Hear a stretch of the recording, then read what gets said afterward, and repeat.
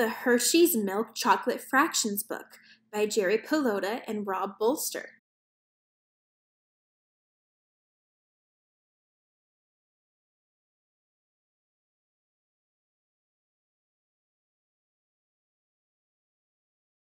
Milk chocolate. Ooh, delicious.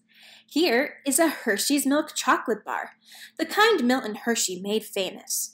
Before we eat it, we are going to learn about fractions.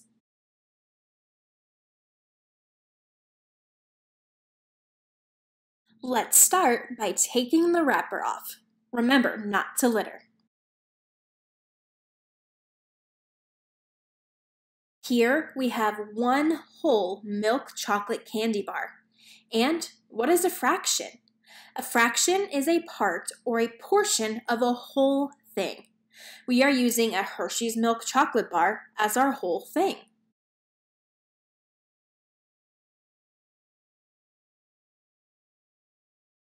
Twelve twelfths. If you break this candy bar apart, you will see 12 equal sections. 1, 2, 3, 4, 5, 6, 7, 8, 9, 10, 11, and 12.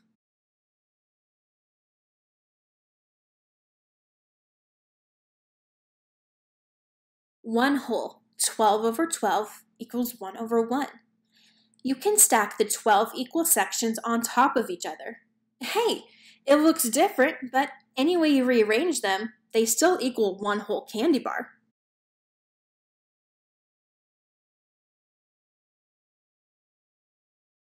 One twelfth. Maybe this is the easiest way to understand fractions. What would you rather eat? One twelfth of a candy bar?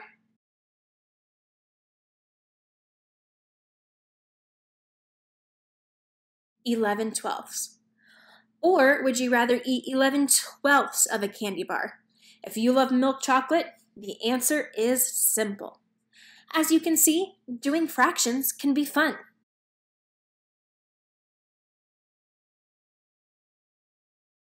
One half. Here is one half of a Hershey's milk chocolate bar. Six twelfths. And here is the other half. Six twelfths is equal to one half. When two fractions equal each other, they are called equivalent fractions.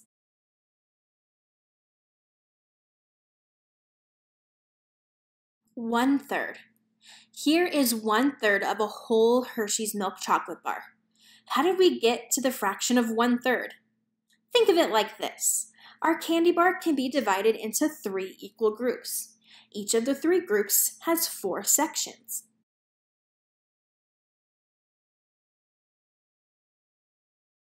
Two thirds. What's left over is two thirds. One third plus two thirds equals three thirds. When the top number and the bottom number are the same, the fraction is equal to 1.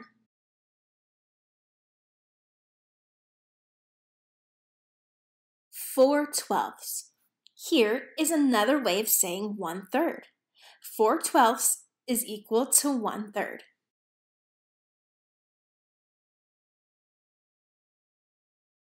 8 twelfths. And what is left over? 8 twelfths. 8 twelfths is equal to 2 thirds. 4 twelfths plus 8 twelfths equals 12 twelfths, which equals one whole candy bar.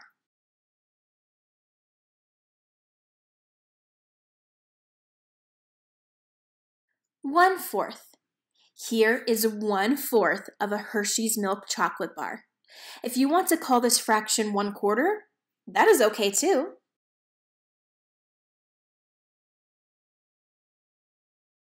Three fourths. Here is what is left over, three fourths, or you could call it three quarters.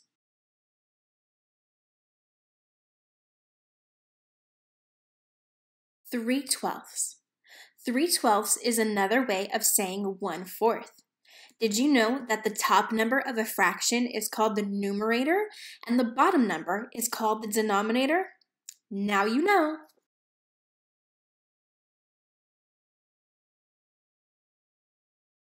Nine twelfths. Let's explain it another way. Three fourths is equal to nine twelfths.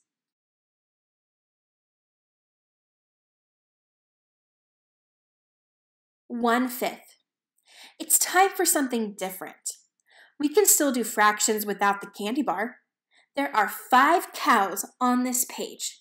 Four cows have black spots, and one cow has red spots. One fifth of the cows on this page has red spots.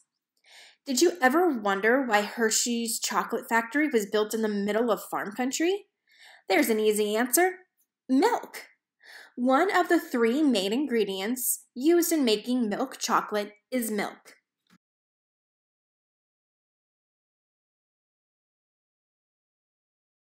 One seventh.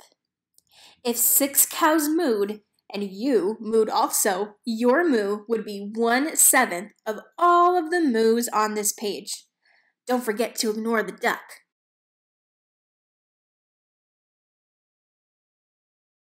One sixth. Back to the candy bar. We need to learn how to put a fraction into its lowest terms. If you divide the numerator and the denominator by the same factor, you can simplify this fraction to its lowest terms. 1 sixth is the lowest term of 2 twelfths. 5 sixths. 5 sixths is what's left over from a whole candy bar after removing 1 sixth.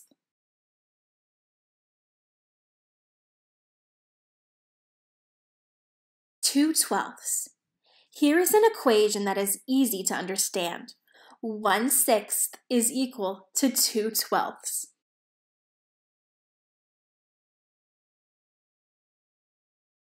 Ten twelfths. Here's another way to say five sixths. Ten twelfths. It is starting to look more delicious after every fraction we show.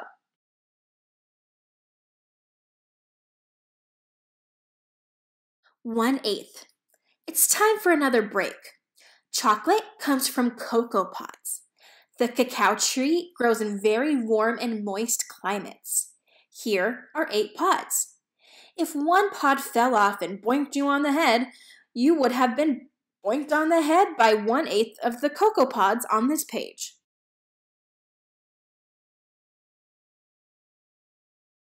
One ninth. Cocoa, milk, and sugar are the three main ingredients used in making milk chocolate. Sugar usually comes from sugar cane. If you cut down one stalk, you will have to cut down one ninth of the sugar canes left on this field.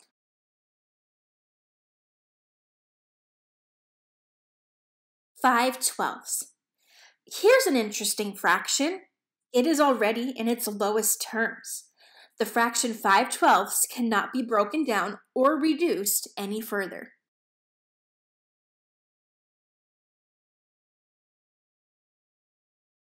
Seven twelfths. The amount left over from 5 twelfths is 7 twelfths.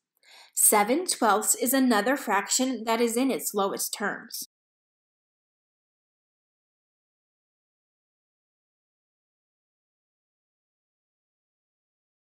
One tenth. Here is a way to get a fraction of one tenth. There are 10 candy bars on this page. One out of 10 candy bars is unwrapped.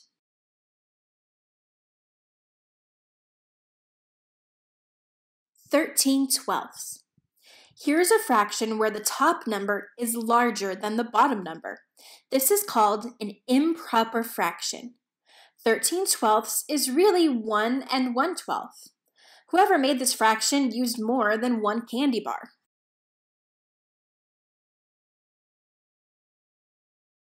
So far in this book, we learned that the main ingredients in milk chocolate are sugar, milk, and cocoa. We also learned the fractions 1 twelfth, 2 twelfths, 3 twelfths, 4 twelfths, 5 twelfths, 6 twelfths, 7 twelfths, 8 twelfths, 9 twelfths, 10 twelfths, 11 twelfths, 12 twelfths, and even 13 twelfths. We also did fractions of 1 half, 1 third, 1 fourth, 1 fifth, 1 sixth, 1 seventh, 1 eighth, 1 ninth, and 1 tenth. If you want to know what fraction of ingredients are used in making a Hershey's milk chocolate bar, sorry, these fractions are top secret.